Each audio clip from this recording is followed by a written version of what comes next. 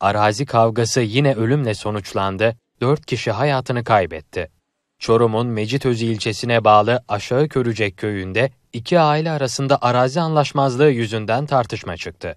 Tartışma kavgaya dönüştü.